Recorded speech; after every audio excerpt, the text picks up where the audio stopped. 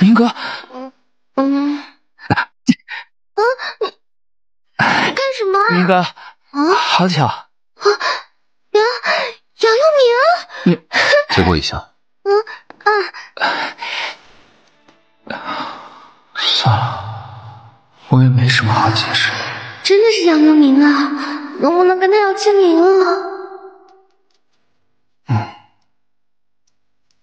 送货来了。啊，哎，你们家订的啤酒和饮料到了，麻烦签收一下。哦好，呃啊，抱歉，停一下，我状态不对。好，休息一下，十分钟后继续。好，然而我并没能将情绪调整过来，你怎么回事？后续的拍摄依旧磕磕绊绊。再来一次，带着情绪。在这个过程中，杨佑明一直在旁边看着，哪怕是我和他对戏的时候，一直 NG，他也没有表现出丝毫的不耐烦。走，吃午饭去。嗯，走。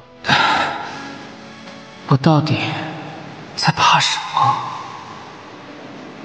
我怕他生气。可是夏新城本来就不需要向杨佑明交代什么。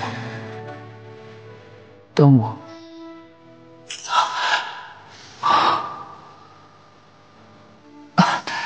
明哥，怎么没去吃饭啊？啊？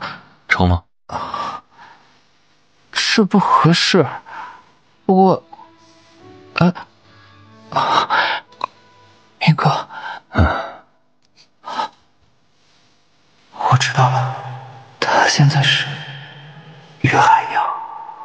虽然剧本上没有，但是我知道他在跟我对戏。对于海洋和方建远可能会出现的一场戏。你喜欢女孩子吗？我，你太不乖了，不希望有下次。没有下次，这才是乖孩子。你好好休息，下午还有拍摄。哦，我先走了。好的。缩在原地的我越发焦躁不安，因为我明白，从这一刻起，我和方建远之间的界限已经彻底的消失了。下一场戏很重要，前后方建远态度的变化，你意识到了没有？哦，他开始更在意于海洋了，有些闪躲。嗯，他动心了，注意是动心，不是爱上。你前两天做的不错，可是今天状态又不对了。对不起，不是对不起，你还要好好的进入这个角色。人会对很多人和事物动心，可爱的小孩，漂亮的女人，小猫小狗也有可能。如果是本能的东西，一般就会视线不断追逐，想要亲近，想要抚摸。可是方建远意识到对象的问题，所以他会去回避本能，亲近了就要远离。关于这些细节，你不妨多琢磨一下。嗯，好闷啊，热死了。这个要放上面，还差一点啊！你怎么在这儿？刚下班回来，碰巧看到你在收拾东西。还有多少？我帮你。呃，还有门口那几箱。啊，这里没空调吗？没开。就只有那些货要搬是吗？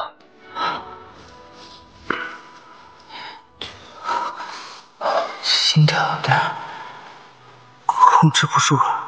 卡，OK，刚才这条过了，收工，都辛苦了。明哥，手机。谢谢。小新哥，这边。小新哥刚刚表现好好啊。是啊是啊，看得我都动心了。小新哥辛苦了。谢谢，你们也都辛苦了。真的真的，我好羡慕于海洋啊。哎呀，明哥，车在外面等着了。好，我们走吧。